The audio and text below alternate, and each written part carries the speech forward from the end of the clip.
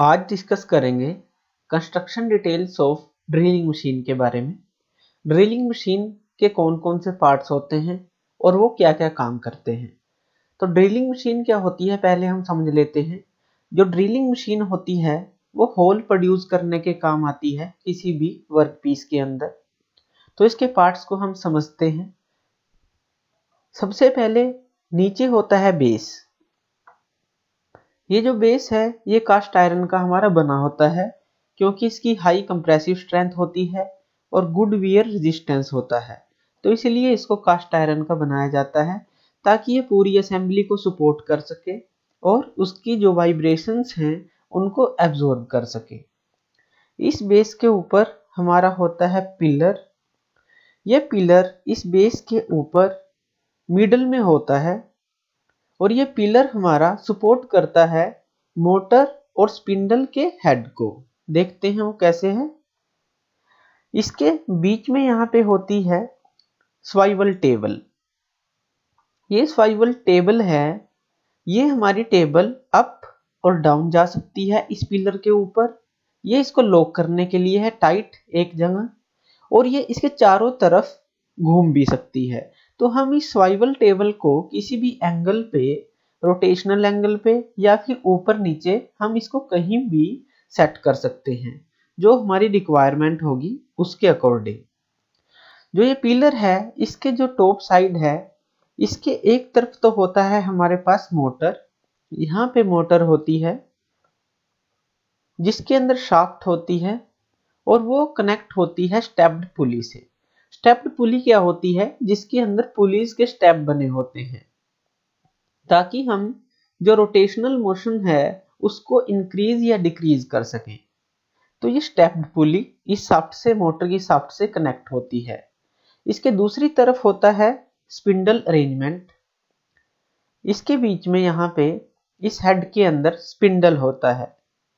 इस स्पिंडल के ऊपर भी स्टेप्ड पुली कनेक्ट होती है। ये हमारी रिवर्स डायरेक्शन में होती है अपोजिट डायरेक्शन में। जैसे ये अगर सीधी है तो ये उल्टी होगी। ये दोनों जो स्टेप्ड पुली हैं, ये विलोसिटी रेशो को लेने के काम आती है। मोशन को चेंज करने के काम आती है, जो अकॉर्डिंग टू रिक्वायरमेंट होता है। और इस पिंडल के नीचे कनेक्ट होता है चक। चक क्या होता है? जो हमारे रिवॉल्विंग कटर को होल्ड करता है और उसको अच्छी तरह से टाइट करके पकड़ के रखता है। तो इसको हम बोलते हैं चक और इस चक के अंदर होता है ड्रिल बिट ये जो ड्रिल बिट है, ये हमारा रिवॉल्विंग कटर होता है, जो होल क्रिएट करने के काम आता है। इस वाइवल टेबल के अंदर यहाँ पे टी स्लोट बने होते हैं। इनके ऊपर हम कोई भी वाइस मशीन वाइस इसके ऊपर हम फिट कर सकते हैं। जैसा हमने पिछली मशीन में पढ़ा था, जो हमारी मिलिंग मशीन थी तो यहाँ पर इस टेबल के ऊपर हम इसके ऊपर मशीन वाइज को फिट कर सकते हैं तो इसलिए स्लोट बने होते हैं। इन दोनों स्टेप्ड पुली के बीच में हमारी एक बेल्ट लगी होती है। ये होता है हमारा हैंड व्हील जिसकी रोटेशन की हेल्प से हम इस स्पिंडल को ऊपर और नीचे कर सकते हैं।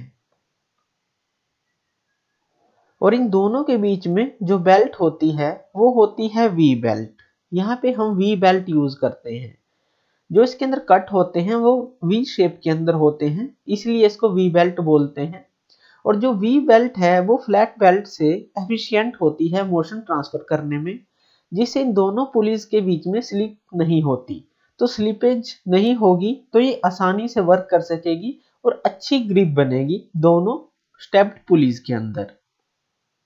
तो ये थे हमारे मेन पार्ट्स थे जो ड्रिलिंग मशीन के। अब इनके हम मोशन को देख लेते हैं कि किस किस तरह से कौन सा पार्ट वर्क करता है। जो हमारा स्वाइवल टेबल है, वो ऊपर और नीचे की तरफ़ मूव कर सकता है और चारों तरफ़ ये मूव कर सकता है। तो इसको हम इसकी हैंडल की हेल्प से लॉक कर लेते हैं। तो ये तो है स्वाइवल टेबल ऊपर नीचे और ये रोटेशनल मोशन किसी भी तरफ़ जा सकता है। तो हम इसको टाइट कर सकते हैं किसी भी पोजीशन पे। जब हम स्विच को ऑन करते हैं तो हमारी जो मोटर है, उसकी शाफ्ट रोटेट करना स्टार्ट कर देती है। इस शाफ्ट से कनेक्ट है हमारी ये स्टेप्ड पुलीज ये स्टेप्ड पुली इस स्टेप्ड पुली से कनेक्ट है with the help of V belt तो जब ये रोटेट करेगी तो हमारी ये पुली भी रोटेट करेगी। और जो ये स्टेप्ड पुली है, ये हमारी कनेक्ट है स्पिंडल से। स्पिंडल हमारा कनेक्ट है, चक से और ड्रिल बिट से तो ये भी रिवॉल्व करना रोटेट करना स्टार्ट कर देंगे। जैसे ही रिवॉल्व करेंगे तो ये कटर हमारा वर्किंग एक्शन में आ जाएगा और वर्क करना ये स्टार्ट कर देगा। इस हैंड व्हील की हेल्प से हम इसको नीचे और ऊपर की तरफ़ कर सकते हैं, जो हमारा कटर है। तो ये है इसके जो मोशन है। अब इसका इंटरनल मैकेनिज्म देखते हैं कि ये जो, जब हम हैंड व्हील को रोटेट करते हैं तो ये ऊपर और नीचे किस तरह से जाता है? ड्राइविंग मैकेनिज्म के अंदर हमारे पास होता है रैक चक रैक से कनेक्ट होता है और ड्रिल बिट हमारी चक में कनेक्ट होती है। इस रैक के साथ हमारा कनेक्ट होता है पीनियन पीनियन के ऊपर टीथ कटे होते हैं, रैक के ऊपर भी टीथ कटे होते हैं। ये दोनों टीथ आपस के अंदर मैश करते हैं। इस पीनियन के ऊपर हमारा हैंड व्हील लगा होता है, जो हम हैंड से ऊपर या नीचे, जो उसको रोटेट करते हैं, इस रैक को ऊपर या नीचे करने के हेल्प करता है। तो देखते हैं कैसे काम करता है।